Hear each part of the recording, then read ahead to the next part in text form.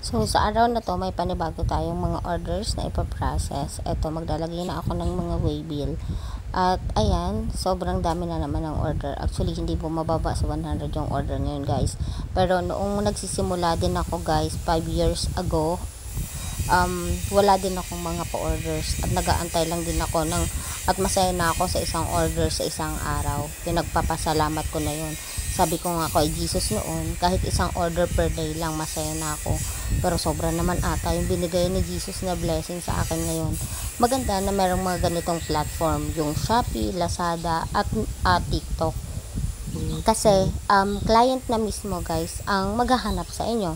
Client mismo ang maghahanap o customer mismo ang maghahanap sa product nyo hindi nyo na kailangan ipagsiksikan yung mga product nyo sa ibang tao o hindi nyo na kailangan na ipag-post ng ipag-post pa yung mga product nyo. Kasi nga, nandyan na mismo yung mga client na naghahanap ng produktong ino-offer mo.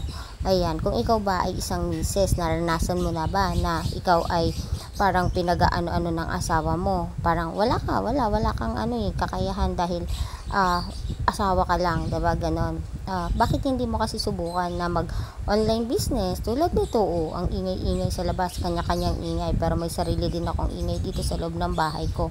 Lumalabas lang dito yung mga orders, oh, 'di ba? Hindi mo akalain nandito lang ako sa bahay, pero nagpo-produce ako ng kaunting halaga, 'di ba?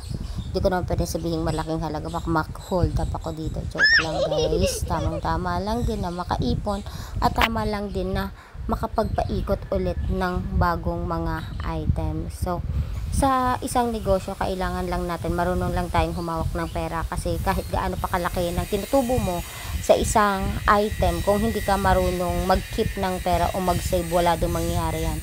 Talo ka pa nung kaunti lang ang ini-income pero may ipon. Bye!